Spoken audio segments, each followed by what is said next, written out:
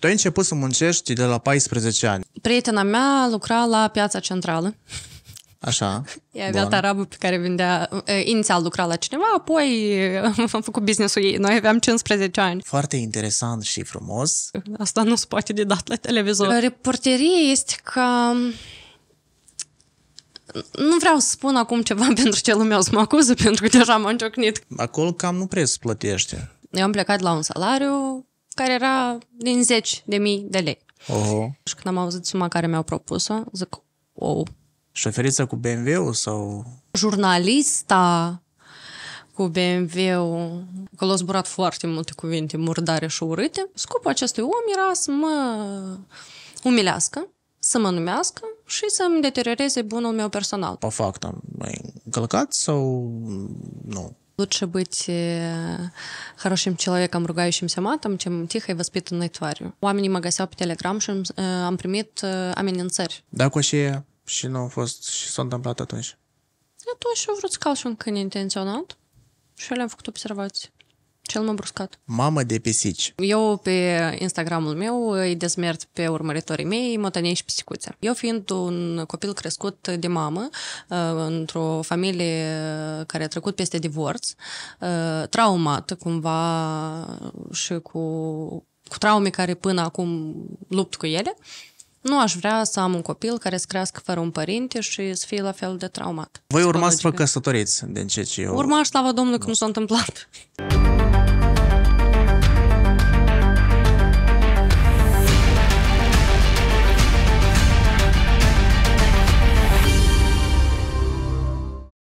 Invitata din această seară este Anastasia Slacfenco, jurnalistă de meserie. Bine ați venit în studioul nostru. Bine v-am găsit, mulțumesc pentru invitație. Anastasia, pentru noi este zile, ziua de weekend. Zilele de weekend sunt cele mai importante.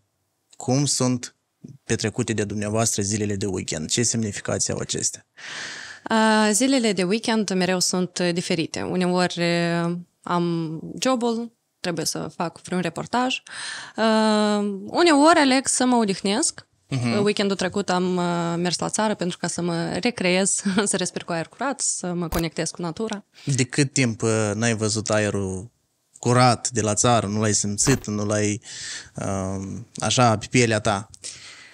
De foarte mult timp. Uh, în copilărie obișnuiam să merg în weekend la țară. Uh-huh cumva era împotriva voinței mele, dar de petreceam weekend-urile uh, acolo. Erai gen, locuiești, locuiai în Chișinău? Da, Chișinău eu sunt din oraș și în weekend mama mă lăsa cu bunica, eu plecam cu bunica, cu surorile ei la străbunica noastră în sat, de ceva timp, de câțiva ani străbunica mea nu mai este în viață și de atunci mai mergem din când în când la țară, avem acolo vie, facem vin, mai avem grijă de grădină, asta dar, dar asta e... da, de asta se ocupă mai mult bunica și sora ei. Tu ai noroc să, nu știu, să mergi la țară undeva aici prin apropiere de capitală sau undeva Da, este foarte departe. aproape de oraș în raionul Elveni. Gen, nu mergi sute de kilometri nu. la nord, la sud, cum foarte... Apropo, foarte mulți, nu știu, primesc cu o doză de plăcere atunci când merg și fac distanța asta, distanța asta lungă. Uh, jurnalistă, reporteră de meserie, noi cu mare, mare drag vorbim cu oamenii care fac meseria asta. Noi aici în studio încercăm să facem și noi jurnalism, nu știu cât de bine nouă ne reușește. Pe locuri să mai primești un fel de tiktokerism, dar na, asta e trendurile de astăzi. Uh, în privința încercării de a face jurnalism, am primit mai multe întrebări într-o perioadă, cum am ajuns să fiu jurnalist.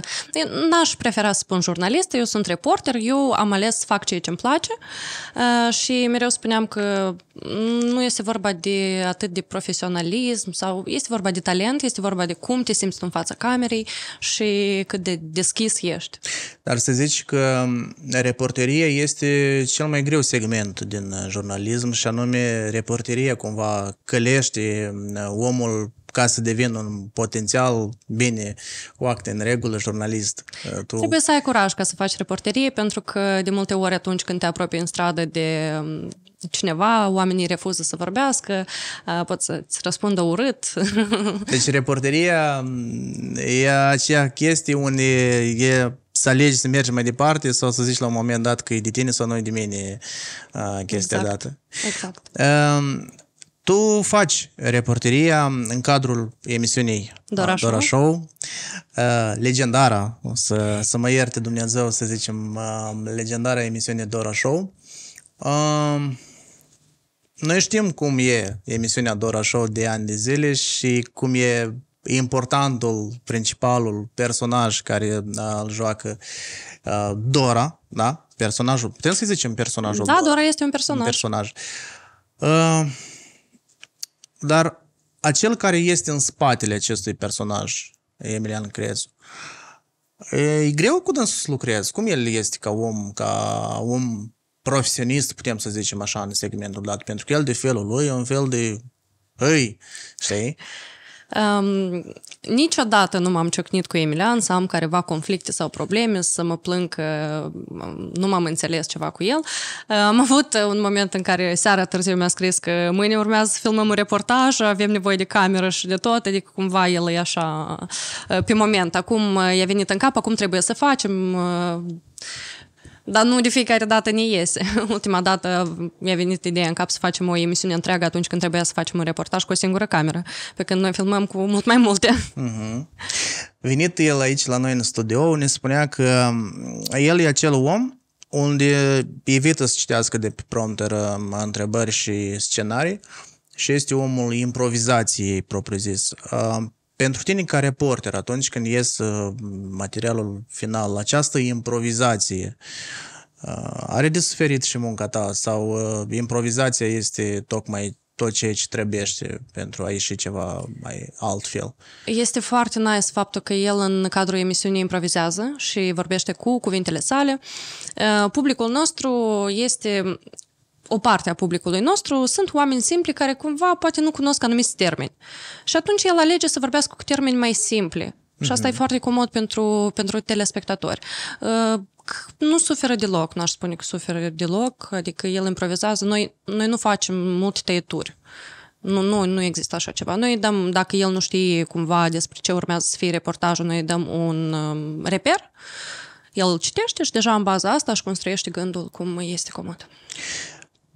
A fi jurnalist sau a te considera jurnalist este un cuvânt mare? În opinia ta? Orice profesie este un cuvânt mare. Eu nu vreau să mă numesc jurnalist. Eu sunt reporter. Da, eu am făcut studii în jurnalism, sunt licențiat în jurnalism și științe ale comunicării, dar prefer să nu mi-atribui acest termen. Aici urmează să te întreb, ce părere ai despre oamenii cumva care ei nu fac studii în domeniul jurnalismului, dar ei că se numesc jurnaliști, ori în domeniul jurnalismului fac treabă foarte bună și nu mai rău decât cei care, nu știu, fac studii superioare. Vezi cum jurnalismul asta nu e medicină, unde tu mm. ai nevoie de chimie, biologie, anatomie, unde tu ai nevoie de studii clare pentru că tu nu ai să poți face, de exemplu, o, o operație. Jurnalismul e cumva improvizație în funcție de felul de jurnalism care vrei să-l practici, adică că vrei să fii reporter, că vrei să, fii, să faci un podcast sau că vrei să intervievezi oameni, fie pe YouTube sau chiar și la TV. Nu, nu, nu cred că este strict necesar să ai aceste studii. Cât timp, în opinia ta, poți faci reporterie ca într-o zi să te plictisești și să zici că gata, eu nu mai vreau să fac asta? și dacă în mintea ta au existat astfel de gânduri, idei de a te reprofila și de a face altceva și oboseală dată? Um, eu fac reporterii deja de un an și ceva un an mm-hmm. și mhm. câteva luni.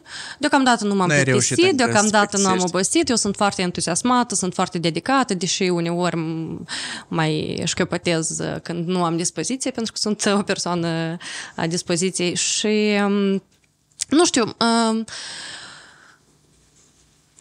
reporterie este ca... Nu vreau să spun acum ceva pentru ce lumea o să mă acuză, pentru că deja m-am ciocnit că trebuie să ai grijă la ce spui, am și ajungem. uh, în opinia mea, eu am lucrat în alimentație publică. Oh, am fost înainte după bar. de jurnalism. Da, înainte, uh-huh. cu mult. Am fost după bar, barman. Și cumva, pentru mine, eu nu spun despre toți. Pentru mine nu poți stai după bar toată viața. Exact așa nu poți face reporterii toată viața. De la reporterii poți ajungi să fii sau prezentator, uh, sau producător, sau... nu știu. Pe lângă jurnalism, tu ai o biografie destul de interesantă în ceea ce privește um, ați câștiga banii proprii. Tu ai început să muncești de la 14 ani, din ceea exact. ce noi cunoaștem. Uh, și ai început să muncești așa, fiind copil. Noi avem, et, și băiței și fetiți de 20, de 20 și ceva de, de ani. Ei, nu că doar că nu știu ce înseamnă a munci, dar ei nici nu simt că vor să știe ce înseamnă a munci. Asta e cel mai rău scenariu, da? De ce necesitatea asta atât de devreme ca să-ți câștigi proprii bani? Nu exista o necesitate. Eu uh, nu provin dintr-o familie înstărită care își permite extrem de multe, dar cumva să-mi asigure haine în care să mă îmbrac și mâncare care să o mănânc, în familia mea și-o permis. Adică nu, nu mm. era că noi murem de foame și eu trebuie Era să mă strictul duc. necesar cumva. Nu strictul necesar. Noi trăiam ok. Da. Adică ok. Da, obișnuit. Uh, obișnuit. Eu um, am auzit uh, fica unei prieteni a mamei mele, a spus că s-a angajat, a lucrat, a primit proprii bani, a fost ceva și a cumpărat și eu m-am entuziasmat și am spus că vreau și eu să am proprii bani, să pot să-i cheltui pe ce vreau eu. Pentru că să nu trebuiască să vin și să mă rog, să dați și nu dai.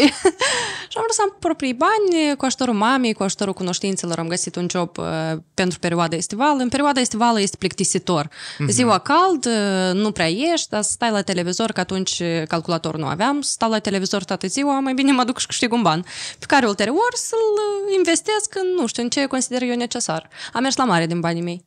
Cu ce ai început? Și dacă ți mai aduce aminte, în valută, nu știu, cred că națională, da? Ai început să faci primii bani. Câți? Cum? 200 de lei pe zi, lucram chelner. Lucram chelner la o terasă. Nici nu pot spune că eram chelner pentru că nu aduceam mâncare sau băuturi pe masă. Asta eu și strângeam cumva voiam să te întreb, cum te-au paharele. primit pe tine la 14 ani? Ei, să... prin cunoștință.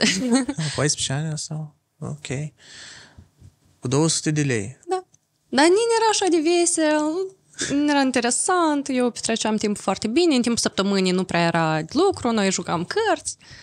Cât timp ai rezistat? Uh, O vară perioada întreagă. aceea? Toată vara? Da, toată Și după vara. aia ai mers uh, Și după asta am la mers la... școală. la... N-ai avut chestii de genul, știi că foarte mulți când se deprind să lucreze, mă să mai gândesc că, băi, dar nu trebuie să învăț, mie îmi place să lucrez. N-ai avut chestia asta să abandonezi școala? Să... Nu, nu, nu, nu. Adică- Nu pot spun că eram extrem de dedicată la școală și cumva am avut o perioadă în care am schimbat școala și în momentul ăsta de schimb am pierdut cumva firul și deja eram, am scăzut la învățătură. Chelner, da. apropo, mulți încep, uh, uh, nu știu, experiența lor în uh, alea ceea ce ține de mm, primii bani, după, să zicem, chelnerism, nu știu dacă este așa cuvânt, o să fie, ce urmează? Uh, După asta, prietena mea lucra la piața centrală. Așa. Ea avea bun. tarabul pe care vindea, e, inițial lucra la cineva, apoi e, a făcut business-ul ei. Noi aveam 15 ani. A făcut business-ul ei, vindea zmeură și noi o stăteam, o ajutam. Nu, nu, nu lucram zilnic, o ajutam la piață. Uh-huh. Acolo vindeam zmeură, vindeam cel mai ieftin din piață și plecam primii. Asta tot vara. Tot vara. Extraordinar. Uh, și am lucrat uh, dispatcher în taxi. Asta era cumva unul din visele mele. Eu când eram mic, uh, mergeam în taxi și auzeam vocea asta, Doamne, și vroiam și eu. Și m-am angajat, aveam vreo 16 ani, cred că. A, deci tu vocea asta de a răspunde și de a vorbi foarte interesant și frumos, ai prins-o de acolo. Ca să Nu mergi la sunt jurnalism sigură. și să Nu, dezvolți, eu când am nu? venit în jurnalism uh, și am început să citesc bete, voice-over care trebuie să apară în reportaj, asta era catastrofă și dezastru total. Prima dată când am înregistrat uh, vocea mea, uh, persoana care răspunde de sunet, a spus că asta nu se poate de dat la televizor. Pe bune? Da, și eu atunci, um, cumva la momentul ăsta, eu deja am depășisem careva complexe pe care le aveam și Mhm. mi-a apărut altul în privința vocii. Și eu credeam că niciodată nu o să-mi reușească să-mi așez vocea pentru ca să vorbesc uh, frumos, pentru ca să poată să intre vocea la TV. De ce anume te complexa? Pentru că noi deja te cunoaștem așa, uh, Da. caracter, ce, ce nu mergea? Um, Aveam mai multe. În perioada când eram adolescent aveam uh, probleme cu tenul, coșuri ah, cu care tot luptam ok. și tot nu dispăreau și am făcut extrem de multe uh, tratamente. Uh, cumva părul nedorit pe corp, urechile, Și asta de, te de care mă desconcentra tachinau cumva, toată da. viața, da. Nu pot spune că eram foarte inhibată și foarte supărată, dar aveam aceste complexe. Cu timpul eu le-am depășit, m-am acceptat așa cum sunt, am făcut careva schimbări, uh, am purtat aparat dentar, mi-am făcut dinții, adică am depășit aceste complexe și am făcut schimbările care am, le-am considerat necesare și am depășit. Dacă e tot să ne ajungem acolo unde ne-am, uh, ne-am început, De lucru vorbeam. Da, la jurnalism. Aici mai am o întrebare. Uh, Eu foarte multe opinii uh, aud dar pentru oamenii cei care au mi-au finalizat facultatea. Ei, mai gine, nu mă ducem la jurnalism, că regret că am pierdut trei ani de zile, că putem și fără asta. Tu regreți că ai făcut o facultate în Deloc. domeniul? Nu regret deloc că am făcut facultatea de jurnalism, deși în înconjurarea mea erau uh, uh, rude care cumva erau împotrivă sau uh, insistau că cu jurnalismul nu se fac bani, că asta nu e profesie, că trebuie să mă duc de farmacist, de contabil, care contabil, Jurist, care farmacist, avocat. care jurist. Cu matematica eu foarte rău stau, cu chimia tot, adică nu e pentru mine, eu sunt om de artă. și Umanistă. um, am acceptat să aleg altă profesie, am mers la turism. Așa. Și chiar, deși în școală eu nu prea învățam, mai ales ultimii ani eram așa, gen... A, nu mai prea o dădeai chiulea, cu- mai una, da. Uh, Preferam uh, să beau o cafea decât să merg la o lecție care nu, nu, nu-mi plăcea. Tu La erai un- așa care punea clasa la cale să nu meargă la ori sau la ultima? Sau... Nu, eu plecam singură sau cu înțeles. prietenii mei, nu puneam toată clasa la cale. Uh, Și după ce în școală cumva am avut așa o experiență în care ba învățam, ba nu învățam și cum vroiam așa făceam, la universitate am decis că gata, eu mă apuc să învăț și chiar m-am apucat. Eram la, la, la turism și eram foarte dedicată, eram foarte concentrată, puneam foarte multe întrebări, vroiam să înțeleg, dar care acolo contabilitate, economie, microeconomie, macroeconomie, informatică. Și geografie bănuiesc cu leac. Adică turismul... Sincer, nu mi-amintesc să fie lecția de geografie. Nu, nu mi-amintesc. Pe bune? Da, și- poate era și eu nu n-am, uh, n-am reținut. Uh, Am stat acolo un an sau două, până în momentul când deja nu mai înțelegeam nimic și zic, gata, cu asta basta, eu mă transfer la jurnalism. Și decana de la mm, turism uh, spunea că o să revin și n-am mai revenit. Am rămas la jurnalism. Ai terminat măcar un an de turism sau Nu, nici un an? câteva luni am fost și Bun. m-am transferat.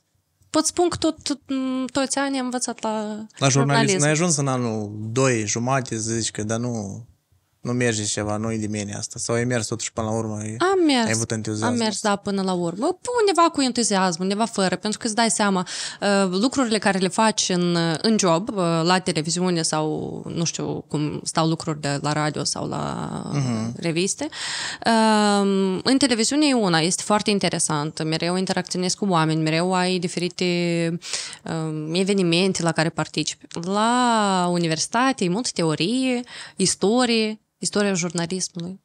Dar eu dacă fac, vreau să fac reporterie și nu vreau tare să scriu articole și astea, nu consideram eu necesar că aveam nevoie de istoria jurnalismului.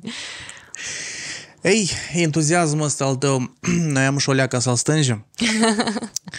tu ai așa o frază bună, că tu anumite lucruri în viață, dacă ele tare, tare îți plac, tu nu le faci pentru bani.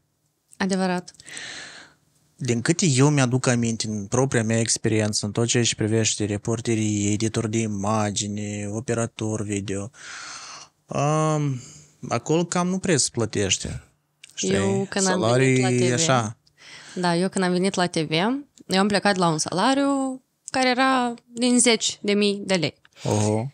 Și am venit aici și cumva îmi imaginam o sumă mai mică care pe mine nu avea, să, nu avea uh-huh. să-mi convină, dar eram ok cu gândul și când am auzit suma care mi-au propus-o, zic, wow, o leacă... Ei, genii mei, e puțin. Uh, Și atunci am stat uh, și m-am gândit, dar eu eram foarte, chiar vroiam să, să încerc. Mhm. Și zic, fie, am acceptat așa cu...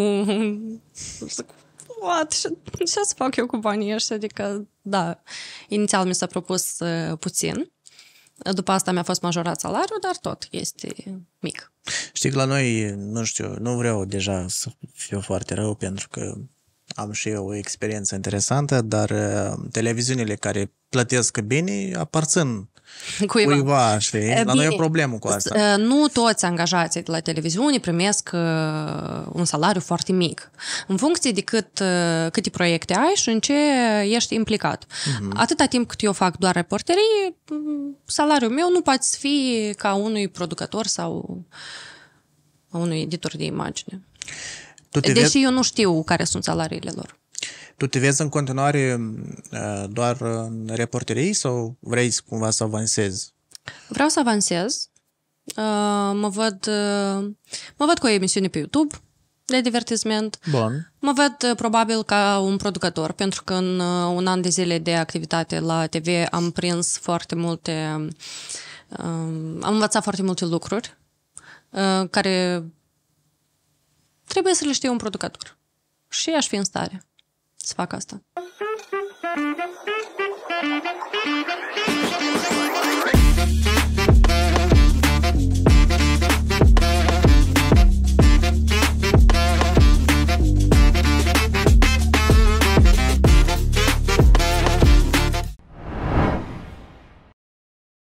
Dar cum sunt titlurile cele mai memorabile pentru tine de știri din ultimele, nu știu, zile, săptămână, săptămâni? Șoferița cu BMW-ul sau cum e cel mai memorat pentru tine? Uh, legat de mine? Aha. Șoferița cu BMW, jurnalista cu BMW. Da. BMW și jurnalista, asta sunt două cuvinte care erau așa, ca publicitatea în New York.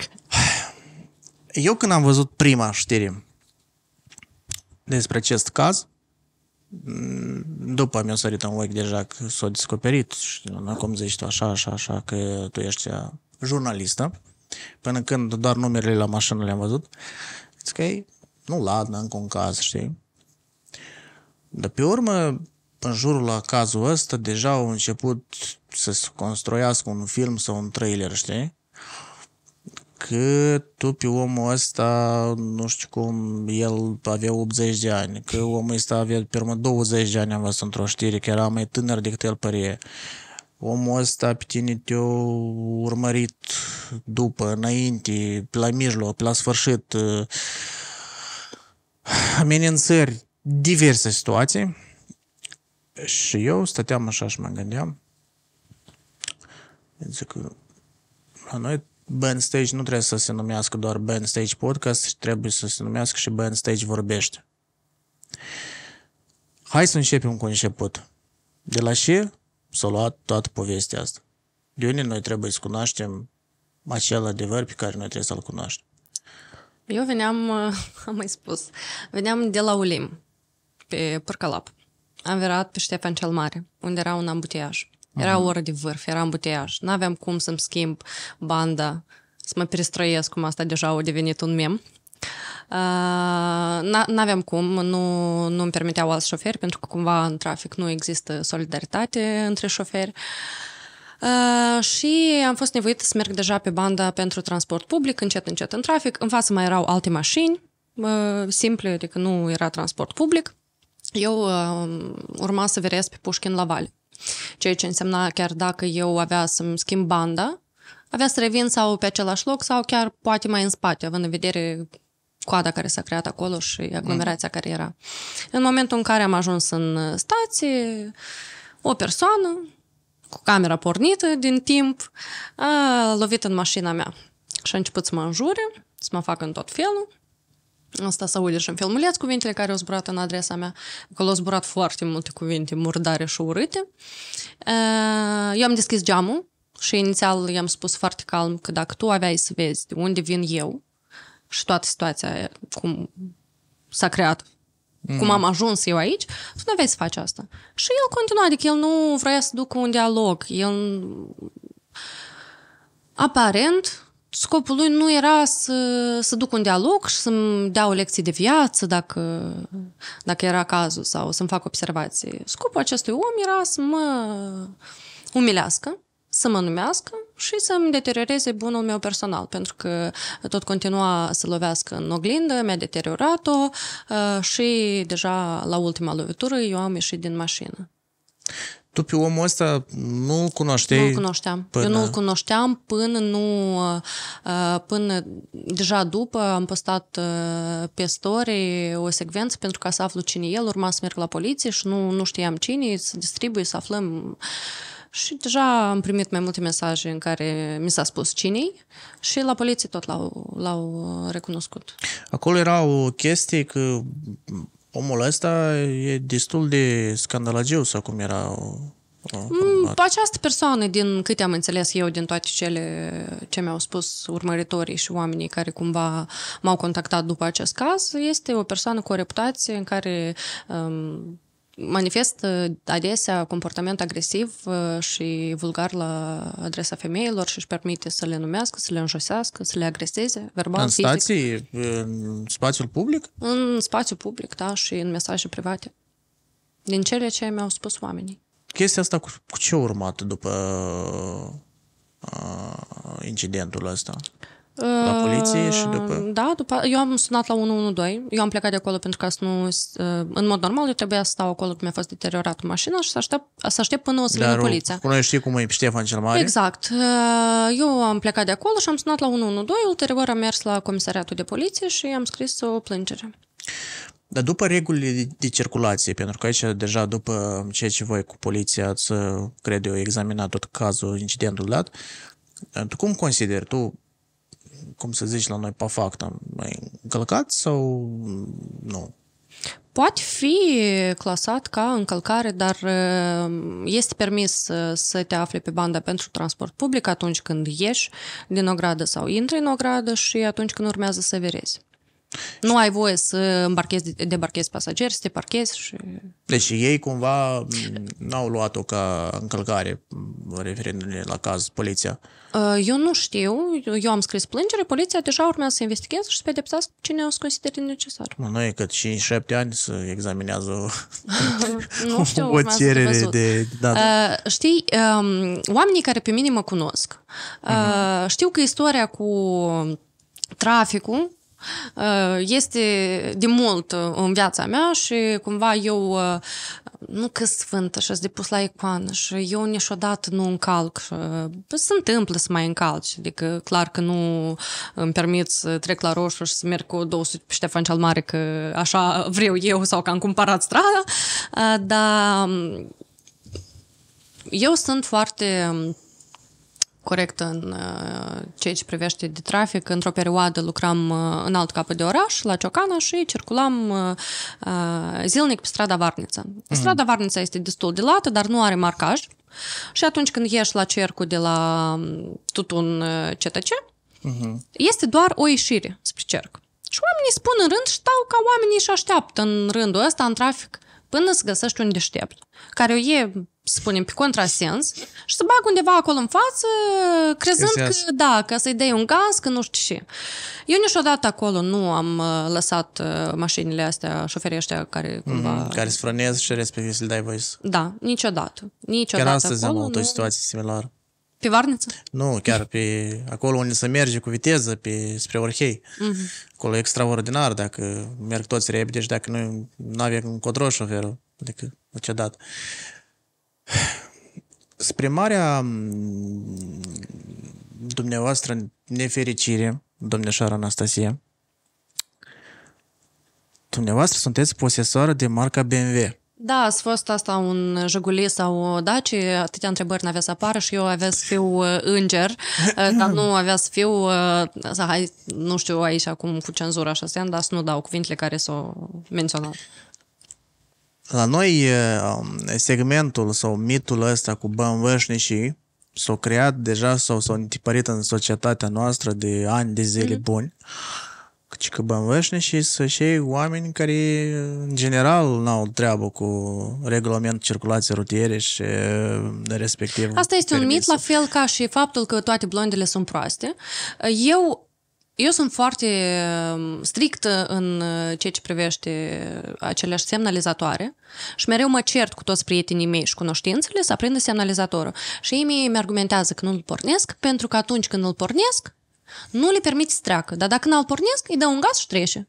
Înțelegi? Mm-hmm. Eu mereu pornesc semnalizatoarele. Nu știu, Și nu o gradă, și n poate îmi scap o dată sau de două ori în lună să nu-l pornesc, nu știu și, dar eu mereu pornesc semnalizatoarele și nu o gradă. Instagram?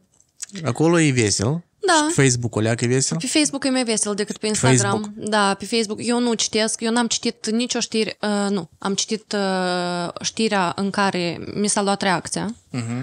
uh, și am mai citit o știre în care era un, uh, un titlu foarte așa, foarte urât și unde era un, uh, un articol foarte lung și doar la urmă era scris reacția mea și reacția poliției. Dar da de sus eu eram ponegrită că vedeta, că nu știu și, că nu știu cum. Uh, eu n-am citit toate știrile, eu am citit, spune, uh, astea două.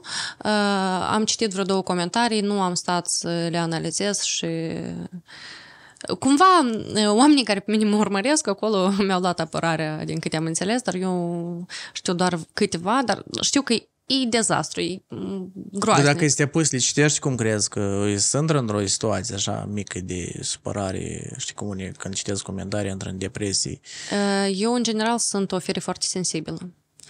Și, A, și am și episoade de depresie, periodic. Mm-hmm. În ziua în care a apărut aceste articole, am fost nevoită să iau niște calmante pentru că starea mea psihologică nu era foarte ok atunci când eu am început să văd valul de uh, negativism care a venit la adresa mea, uh, cum erau structurate acele articole uh, de, așa, de, de persoanele scrise, care au scris de comentarii și așa. Eu am decis să nu citesc comentariile și nu-mi stric uh, dispoziția. Am primit, uh, deci uh, erau, erau și pe Telegram, în Telegram canaluri, tot informații, știrea uh-huh. asta și cumva oamenii mă găseau pe Telegram și am primit amenințări. Am primit amenințări, adică Amenințări de genul, în ce sens, în ce mod? Așteaptă că ai să vezi tu și asta facem ca să te găsim, că nu știu și, așteaptă surprize.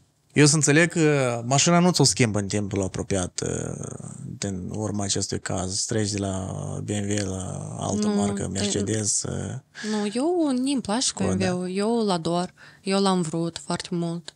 De mult. Și nici numerele nu le schimbi. Asta să mă mai gândesc. Ar fi, ar fi o, o idee bună, știi? da. Să nu... Totuși, Uh, ăsta care a filmat din spate. Asta era șoferul trolebusului, apropo, în care a urcat uh, ulterior acest cetățean care m-a agresat. Și Dar cum șoferul mașina. trolebuzului are când la noi se filmează cu telefon? Iată așa, șoferul trolebusului a filmat. Uh, atunci când acest individ care mi-a deteriorat oglinda a urcat în trolebus și eu l-am rugat să deschidă ușa pentru ca să-i fac o poză, pentru ca să am cu și să mă duc la poliție, Uh, el nu, el era foarte împotriva mea, eu nu știu, sau că el nu a văzut cum, uh, cum a pornit tot sau asta Iana, dar el era tot foarte uh, urât s-a comportat la adresa mea și a refuzat să deschide ușa și asta el a filmat.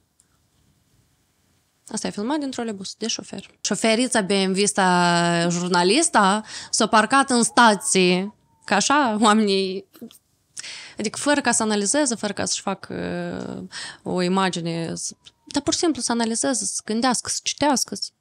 E acolo s-a parcat. Cam on, serios? Adică scrie la mine în, ca, în frunte, debilă, pentru și să mă parchez în stație și să caut eu în stația voastră. Apropo de unele portale de știri, acolo eu am citit așa încă o chestie că tu cu domnul ăsta Mm-hmm. Cu câteva zile înainte, nu știu cum te-ai intersectat, nu știu. Da, înainte ca să apară acest filmuleț, pare mi se era ziua de luni. Eu am fost la poștă să iau niște colete mm-hmm. și când am întors capul, l-am văzut. Eu l-am recunoscut, el m-a recunoscut și când am întors capul a doua oară, el deja nu era. Asta prietena după? mea, da, după prietena mea mă aștepta Cineva afară. scria că înainte de acest caz, cumva el... Nu, asta înainte de cazul, înainte ca să apară această știre. Și filmulețul pe rețele de socializare. Okay. Uh, prietena mea mă aștepta afară și eu i-am scris un mesaj să filmez în momentul în care eu ies din uh, poștă pentru ca cu mine să nu se întâmple ceva. Pentru că după ce am auzit uh, și mi s-a scris tot despre el și ce reprezintă, eu mi-era frică.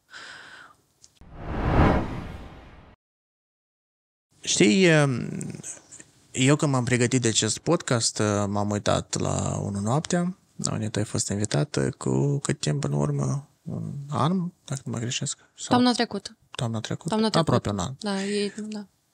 Acolo cumva, nu știu dacă acolo nu, întrebări nu sunt, dar uh, ai început tu să vorbești despre o experiență unde se pare că aceste uh, cazuri de nervi în spațiul public se țin cumva scai de tine. Tu ai mai avut o experiență mm-hmm. cu niște agenți de, De pază. pază, da? Mm-hmm. Dacă și și nu a fost și s-a întâmplat atunci. Atunci eu vrut să cal și un câine intenționat și le-am făcut observații. Cel m-a bruscat. La volanul în stânga spre câine, intenționat. Că să-l Mhm. calci. Și o râs. Și am făcut observații. Mhm. Noi ne-am certat și apoi am fost bruscat. Dar tu ai spus că sunt scai de mine. Pur și simplu că asta a fost mediatizat. Dar câte lucruri se întâmplă în viețile oamenilor despre care oamenii, despre care publicul nu știe? Adică câte istorii sunt la m, emisiuni televizate, la emisiuni pe YouTube, să nu dau am un nume, în care oamenii povestesc uh, prin ce trec și cum și se întâmplă cu dânsi și cum sunt bătuți și fără motiv. Apropo de dacă am început să vorbim despre pisici,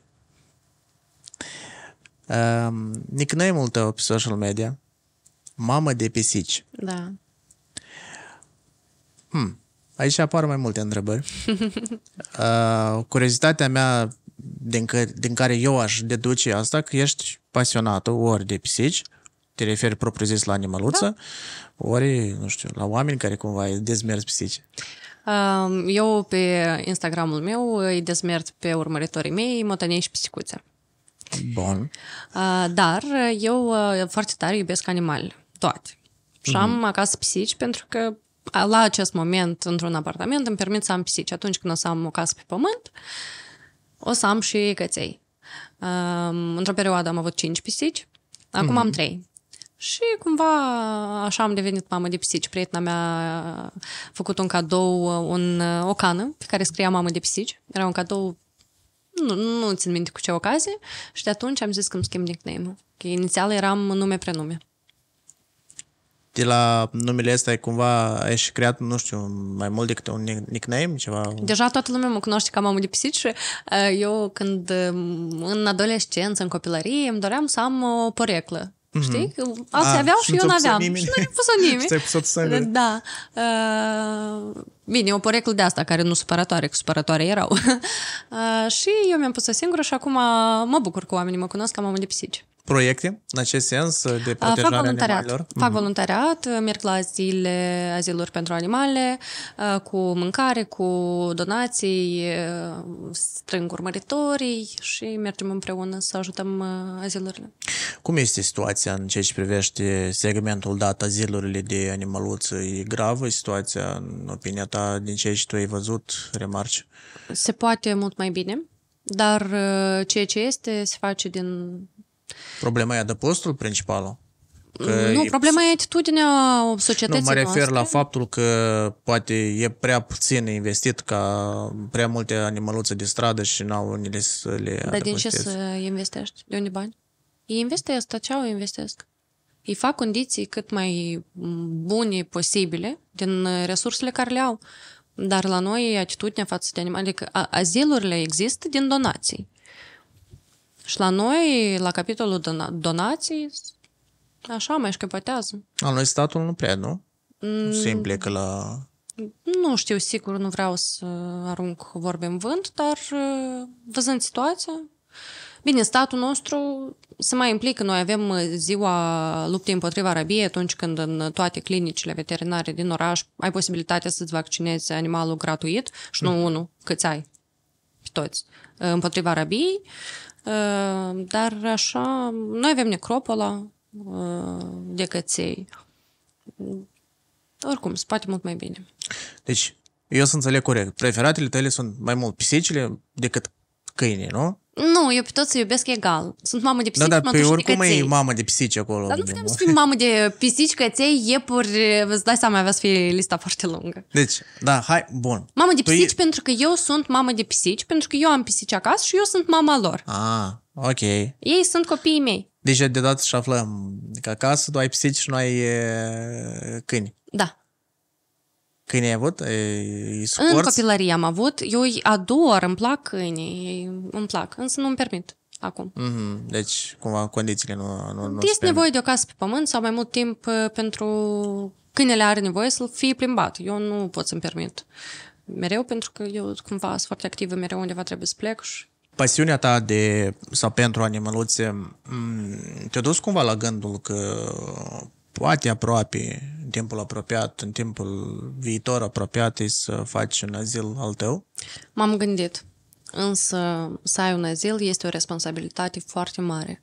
Într-un azil sunt sute de animale care trebuie hrănite în fiecare zi, care trebuie întreținute, uh, unde trebuie să faci curat, să le pregătești mâncare, pentru că nu îi hrănești cu mâncare uscată. Ok, dacă, dacă îți permite bugetul, da, dar așa trebuie să faci uh, terciuri și carne și este o, o dedicație enormă și nu n-aș vrea să-mi asum. Nu știu dacă aș putea să să-mi permit să-mi asum. Eu fac atât cât pot. De fiecare dată când pot, merg. Mamă de, de pisici? Da, dar mamă? Deocamdată nu.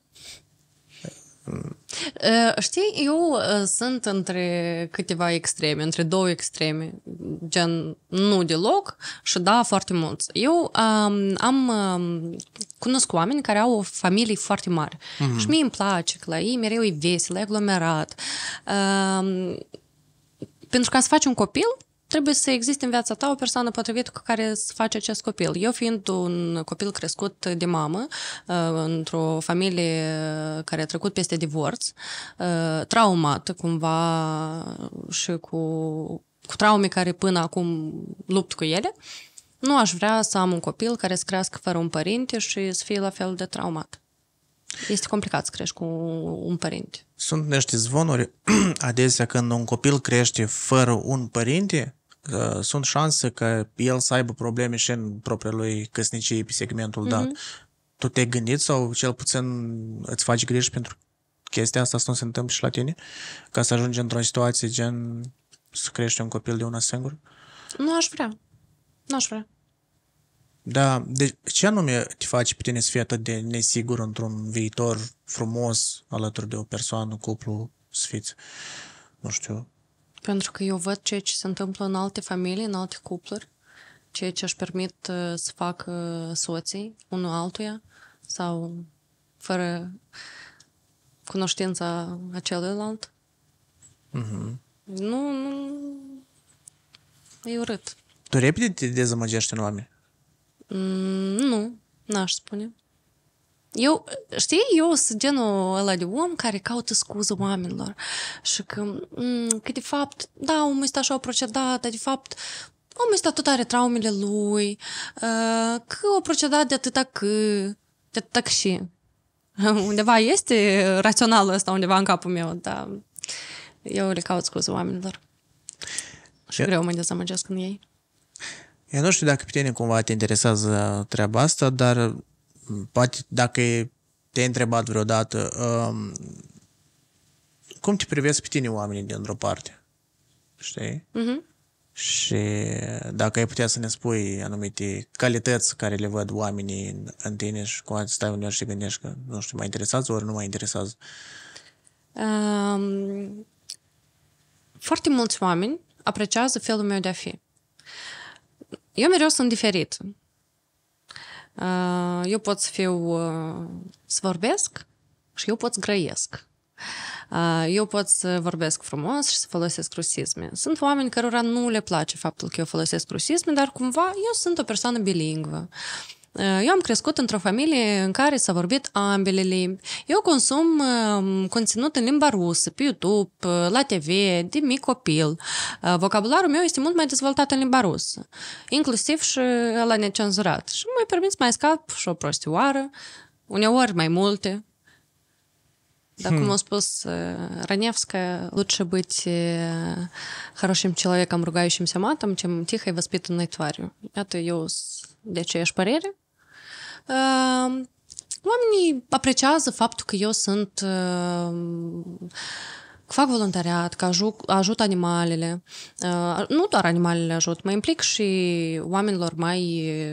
Deci faci acțiuni de voluntariat da, și da, în da. ajutorarea oamenilor. Da. Și postez periodic pe pagina mea atunci când fac eu ceva, că se mai întâmplă, mai donez, mai ajut pe cineva, nu de fiecare dată postez. Dar atunci când se implică și urmăritorii mei, mereu postez, mereu... Iată, eu în mână am un telefon. Mm-hmm. Datorită acestui telefon, da, acestei jucării, um, tu ai avut o experiență destul de interesantă cu mesajele din telefon. Nu. Te-ai uitat la unul noapte? Ai citit tu niște mesaje mm-hmm, în telefon mm-hmm. și atunci când tu ai ajuns să citești aceste mesaje, în viața ta lucrurile arătau frumos, mergeau spre un viitor colorat, așa cum trebuie să fie ca la carte. Mm-hmm. Și datorită celor mesaje, da, Mm-hmm. aici, nu știu, ți s-o păruții sau chiar pe bune, că ai fost înșelată. Pe bune. Din Dacă când tu în când insisti. citești mesajele în telefon partenerului de viață, în opinia ta, e corect? Trebuie?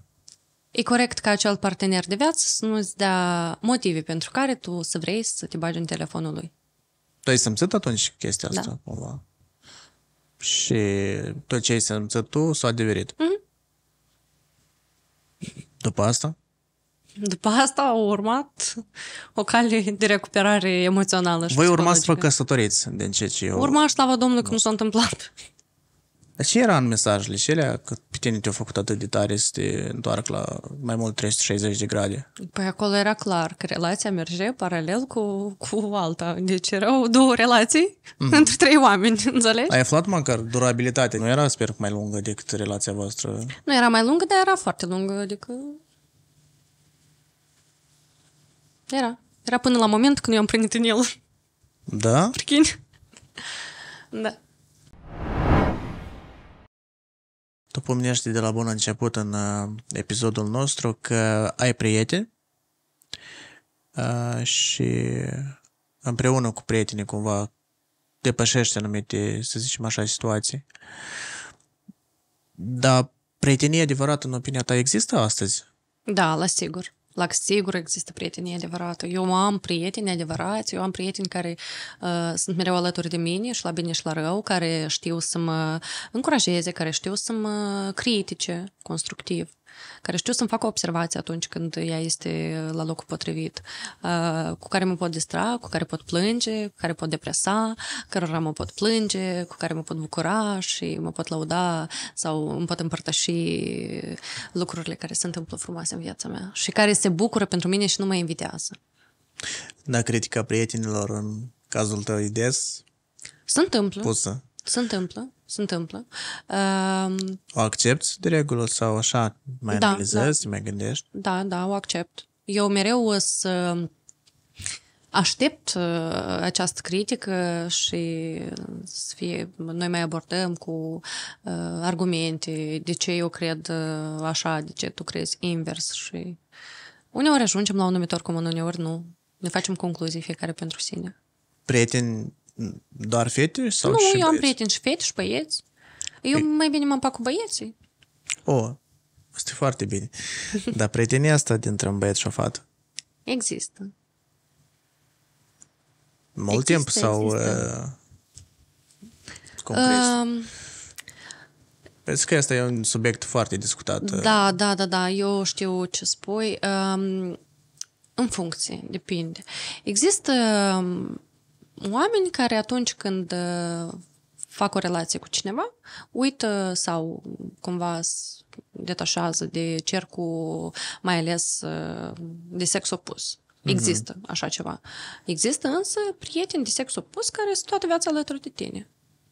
Ai avut cazuri când dintr-o prietenie tu și băiat transformi ceva să iei hăisa în altă parte? Nu. Nu? Nu, nu. Nici măcar să se apropie și să zici, stai, leac. Uh, ok, există oameni cu care tu comunici mai apropiat, pe care poate nu-i poți numi prieteni, Mhm. cu care ești Amici în relații, cunoscuți. da, amici, cunoscuți. Uh, și se întâmplă că să mai dea niște apropouri, dar Tu de felul tău ca persoană ești așa mai distractivă, mai pe tu soft și cum? Eu mereu Cu sunt timpul- timpul... Eu duc un mod de viață activ. Nu neapărat că în fiecare weekend sunt uh, în cluburi de noapte, deși este posibil să fie o lună la rând, uh, în perioada estivală, să merg în fiecare weekend în club. Uh, Eu prefer uh, diferite tipuri de activități. Îmi plac uh, escapadele undeva în natură, îmi place să merg la țară, uh, îmi place să merg să vizitez locuri noi, îmi place să mănânc gustos în uh, tot felul de localuri, restaurante, atât în oraș cât și în afara orașului, uh, excursii și cluburi de noapte, evident, concerte, teatre. Eu ador teatru. Uh, Ador uh, uh, filmele noastre autohtone. Uh, și Ele cu părere de bine în timpul ăsta iese din ce în ce și Da, eu mă bucur foarte mult că ele, da, deja al Prind doilea deja. film și are așa un succes. Uh, Este, prinde bine la public și asta bucură. Nu știu cât e de costisitor să faci un film în Moldova și mai ales că, nu știu, cât de bine sunt susținute E astfel de foarte proiecte. costisitor. Cât costă să filmezi o publicitate? Mii de euro. Mm-hmm. pe un film. Da, mai ales dacă să mai tragi E niște foarte, foarte episoade, costisitor. să faci da. un serial, asta e extraordinar de... Pe lângă jurnalism, voluntariat, uh, ce urmează uh, să faci, să descoperi, îți dorești să descoperi, poate te gândești, nu știu, ai vreo idee să o realizezi? Uh, Eu uh, merg uh, pe valul care mi-l oferă viața și beneficiez și profit de fiecare oportunitate care mi oferă. Um, Actualmente fac uh, reporterie, uh, fac uh, Instagram, dar uh, sper să ajung pe YouTube în uh, viitor Oh, apropiat. apropo, e că e Instagram, uh, datorită faptului că s-a ridicat pagina la tine. Da, în ziua și am avut uh, 20.000 de vizualizări la story. Oho, Da. Deci că în an- așa situații am înțeles că a- anumite situații care joacă un Prietenii rol. mei glumeau că să ne ducem să ne batem undeva în centru și... Mai faci vreo 20 de Da, de să facem urmăritori? urmăritori. zic. Și devii cu acte în reguli influencer. Eu deja sunt influencer. Eu influențez oamenii să um, doneze animalelor, să le salveze, să adopte animale mai daneze din stradă, dar nu de este de rasă, Ei, să tu ai le luat cumpere de uh, petrit, nu. domeniul de influencer acum chiar așa cu actele și cu lucrurile bune. Hai, să- bine, nu vreau să fiu. Da. Nu vreau să fiu rătăcios, nu vreau să dau exemple. nu vreau să mă dau cu părerea. Cel mai des întâlnit. Deci te-am întrebat asta. Asta este loc pentru o nouă discuție aici la noi la podcast. Noi eh, te așteptăm aici în studio cu lucruri minunate, eh, lucruri noi descoperite pentru tine. Uh, nu vreau să iau peste picior acum situația, dar Doamne să nu se mai întâmple și Da, da, s-a Doamne. întâmplat. Și doar lucruri pozitive în viața ta. Mulțumesc mult de asemenea. Lui Emilian, salut! Numai decât. Urmează să filmeați în o nouă uh, ediție, da?